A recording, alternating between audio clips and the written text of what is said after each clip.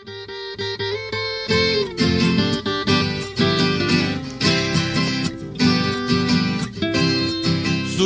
o rio e vinhema numa canoa de remo.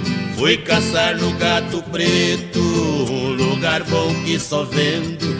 Levei a minha dois canos e meu cachorro veneno. Soltei no rasto de onça, o bicho saiu fervendo. Meu cachorrinho é sem raça, mas pra levantar uma caça, pra ele é café pequeno.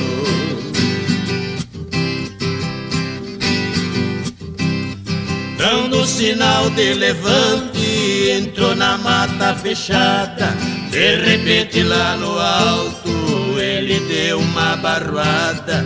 Eu falei pro companheiro, é onça e das bem criadas. Minha espingarda tem bala, fico firme na cilada. O senhor é de coragem, vai esperar na passagem, no corredor da picada.